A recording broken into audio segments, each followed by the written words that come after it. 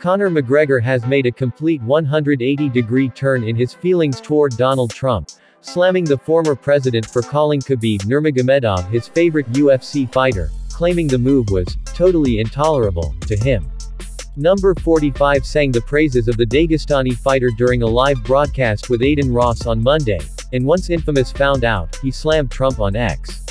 The decision to end the campaign, Conor said, adding that the right move was to consider the American fighter his favorite.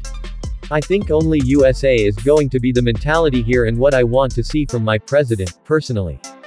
Conor turning his back on Trump is interesting, especially since he sent a strong message of support in the wake of last month's assassination attempt.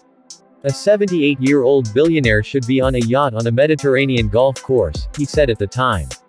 But he's not there. He's in Pennsylvania spitting bullets. Running for the love of his country. Get well soon Donald. God bless the United States of America. Conor didn't just change his tune on Trump, he also walked back his multiple billionaire comments in Monday's post, saying he was absolutely wrong, and going on to say he's only worth a few hundred million. Of course, Conor has hated Khabib for years, especially after he lost to the 29-0 fighter in October 2018. He's taken every opportunity to badmouth his nemesis on social media, and Trump's attitude has clearly irked him.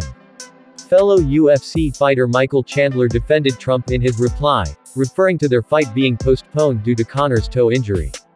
If you had half the courage DT has, you would have shown up on June 29, Michael said on X. Instead, you walked in regular, beer swilling, Austin 316 style at a local fight show, motorcycle rally in South Dakota, the red state, 100% hashtag MAGA. No word yet on UFC boss Dana White's thoughts on the whole thing, but we assume he's on Trump's side, since they're longtime friends. Conor has since deleted his post.